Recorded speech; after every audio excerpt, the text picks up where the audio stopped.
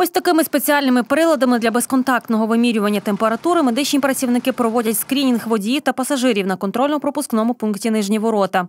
Ми міняємося, е, по черзі чергуємо. Е, Ну, міряли температуру кожному, хто їде. Температура все була нормальна сьогодні. 36,6, 36,8. Сьогодні нормально буде у всіх нормальна температура.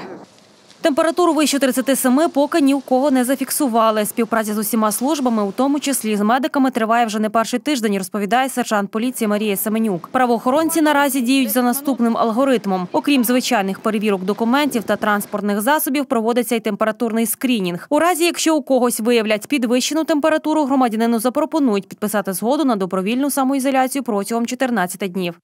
Ми працюємо у посиленому режимі Е, за допомогою е, лікарів. Спільно е, проводимо скринінг, тобто вимірювання температури, проводимо профілактичні бесіди щодо недопущення водіями порушення правил карантину і, ясне діло, притягуємо до відповідальності, виявляючи порушення.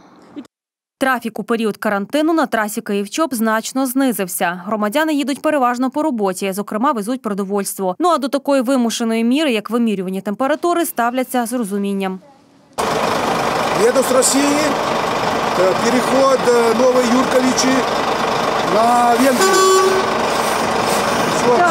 Превентивні заходи на в'їздах до області будуть тривати і надалі, аж поки ситуація із захворюваністю не піде на спад.